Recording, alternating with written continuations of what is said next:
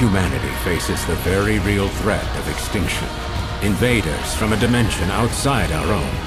The Chimeras dragged countless victims back to their dimension. The survivors fled here, to this artificial island we call the Ark. At this rate, all of humankind will be pulled into the Chimera's dimension. By neurologically syncing captured Chimeras with human operators, we established control and made powerful allies. I'm referring, of course, to the Legions. The Chimeras won't stand a chance against the two of you. Calling all officers en route to Grand Avenue. The area's been designated Red Shift Level D. We've confirmed reports of civilian aberration. This is Akira Howard. I've just arrived on scene. Come on. We can't let anyone else get redshifted. The Earth isn't being corrupted. It's being brought here, bit by bit. The whole planet is being destroyed! It is.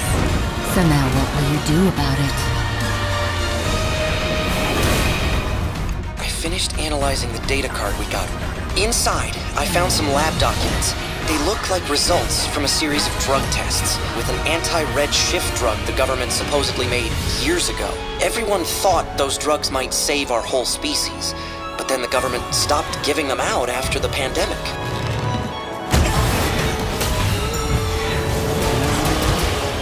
The days of cowering in fear are over.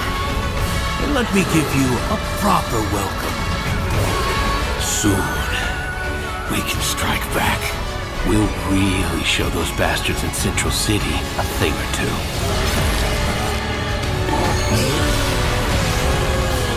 I can still remember when I first heard about you two.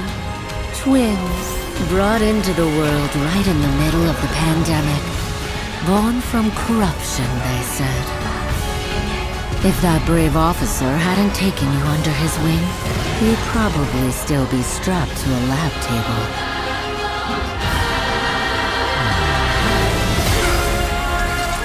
Listen to me. We don't have time. The Legions are the very last hope humanity's got. And today, we lost all of them, except yours. You're the one who's gotta save the world now. Do that for me. People of the Ark, all who tremble in fear, to our true future.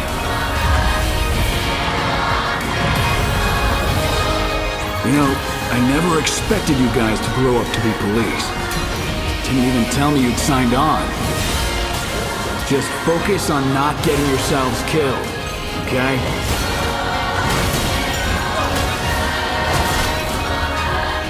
Your species chose you. The two of you hold the future of humankind in your hands.